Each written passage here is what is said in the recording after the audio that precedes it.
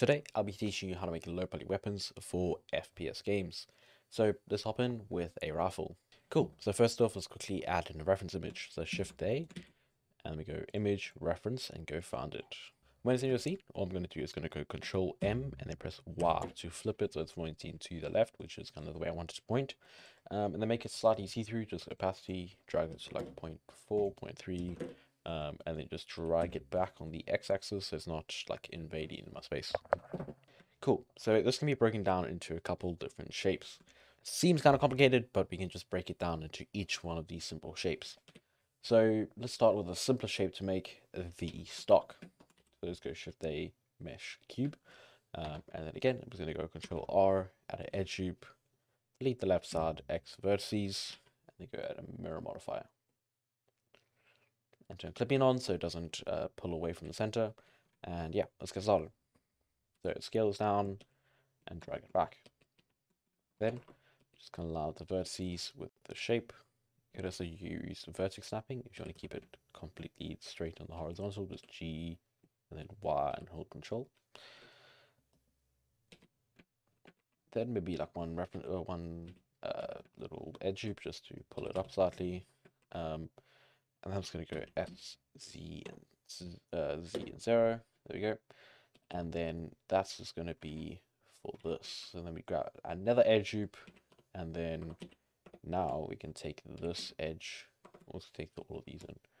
There we just take this on in on the x-axis. And then this in just slightly less. So kind of rounds it out.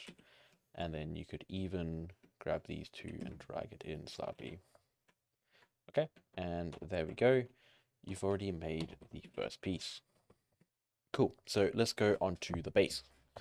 So to do that, I'm just going to go uh, duplicate this and then just delete everything but the front piece, uh, just so we have our settings and then that round shape. So let me drag that back here and extrude it across. And then we can just extrude out slightly and scale it up what we're going to do with this is drag these out on the x-axis so we get more of a square kind of shape with these vertices.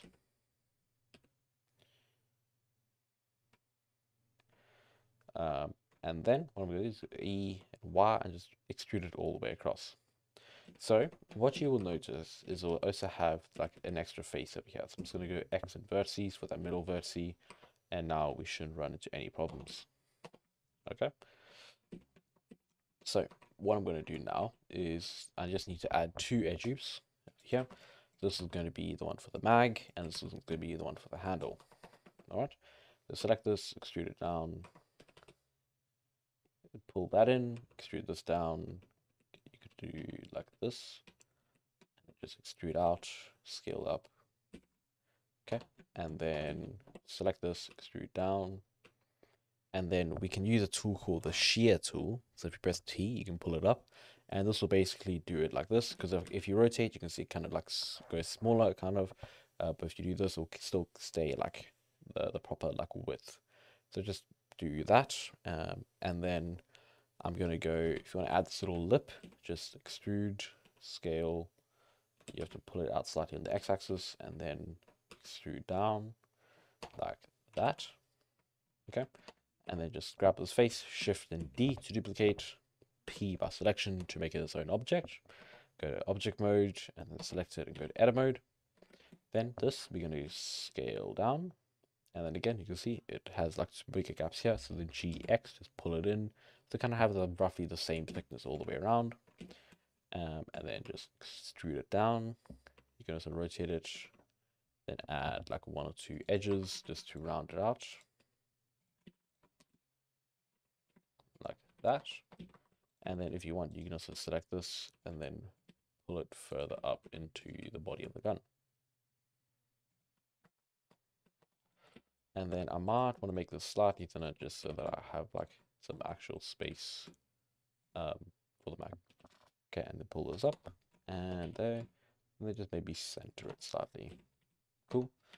And then maybe let's make it slightly thinner. Uh, then again, you have. Then we can duplicate this front piece or even just take this back piece again. So Shift D, P bar selection. And that will give us another round piece over here. And then just GY lined it up there. And this can be taken, just extrude, and then scale up. Again, just put it out slightly on the x-axis, and then just extrude it along here for the barrel. Uh, and then F to fill. Let's take this, extrude it up. Drag, drag that in, or just drag like the top piece in like that.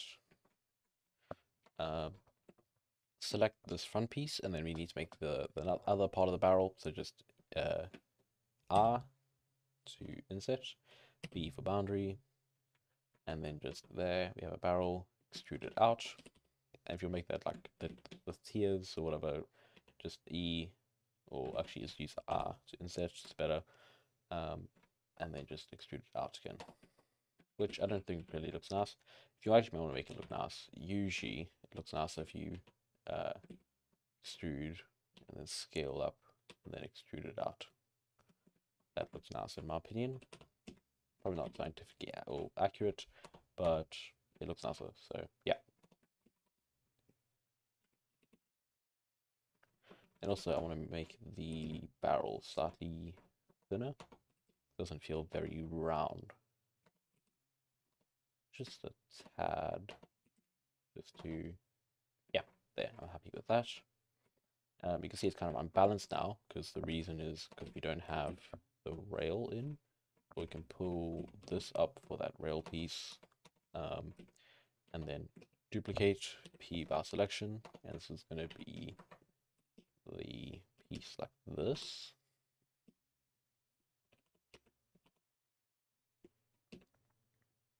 And then extrude up. And then we're going to go Shift A mesh circle.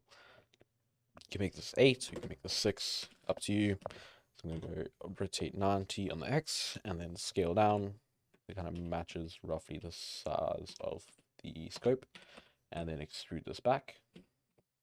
And then I'm going to add two edge loops, scale them slightly on the Y, so just SY, and then you can just select these two edges, so just Alt and select, and extrude and scale shift Y.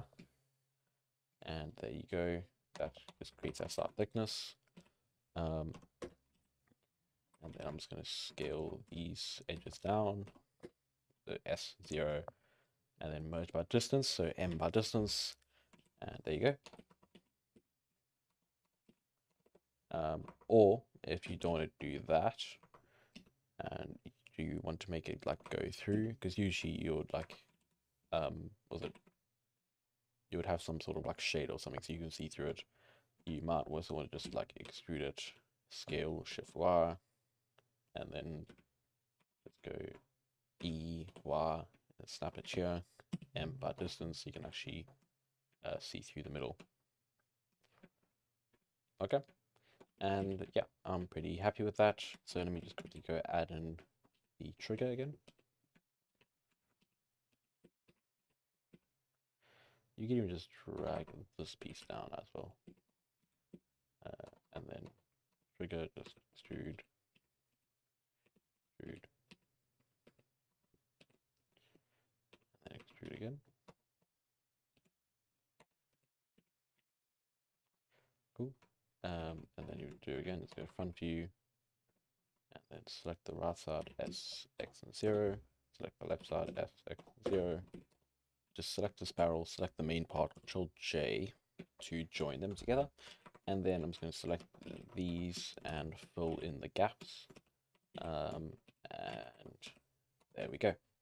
And if you have any problems in Unity, uh, then just go into edit mode. You can see here I have my face orientation. So then you shift N, and then if you select everything, shift N again, can see now everything's blue and it should work and fun. If you don't really understand the face orientation and how all that works, click over here to fix those normal pit things that just have see-through faces out of Unity.